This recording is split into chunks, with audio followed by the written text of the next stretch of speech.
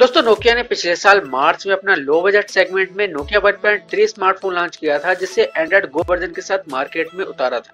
अब खबर आ रही है कि अपनी इस सस्ते स्मार्टफ़ोन का नेक्स्ट वर्जन लाने की तैयारी कर रही है, जो होगा नोकिया का 1.4 एमएसपी की एक रिपोर्ट में नोकिया 1.4 की सारी स्पेसिफिकेशन शेयर कर दी गई है। तो चलिए बात कर लेते हैं आज नोकिया 1.4 की स्पेसिफिकेशंस को लेकर, उसकी प्राइसिंग को लेकर।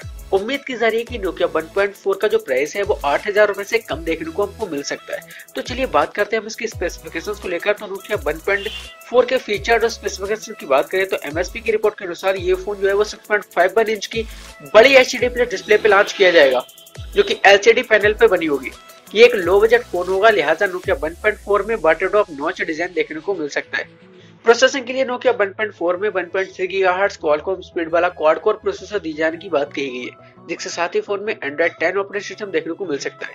यहाँ फ़ोन में मौजूद चिपसेट की डिटेल सामने नहीं आई है रिपोर्ट के according Nokia 1.4 smartphone one GB RAM पे लॉन्च होगा, जिसके साथ सोलह जीबी की इंटरनल स्टोरेज दी जाएगी।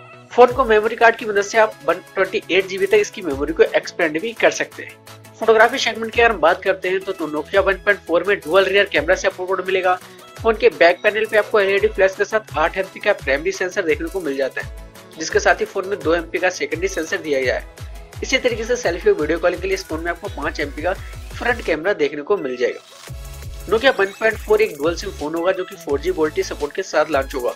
फ़ोन में आपको वाईफाई और ब्लूटूथ के साथ ही 3.5 mm ऑडियो जैक और बेसिक कनेक्टिविटी फीचर्स देखने को मिल जाएँगे। रिपोर्ट के अकॉर्डिंग सिक्योरिटी के लिए नोकिया 1.4 में rear mounted fingerprint sensor support करने के लिए आपको मिल जाएगा। और पावर बैकअप के लिए इस फ़ोन के अंदर आपको चार हज़ार एमएच की बैटरी दी जाने वाली है। इस फ़ोन को मार्केट में ब्लू और ग्रे दो कलर ऑप्शन में मार्केट में उतारा जा सकता है। अगर हम इसकी प्राइसिंग की बात करते हैं तो नोकिया जो 1.4 है, वो लगभग आठ हज़ार रुपए से कम प्राइस में आपको देखने को मिल सकता है, जो कि छह से सात हज़ार के अप्रोक्स होने वाला है।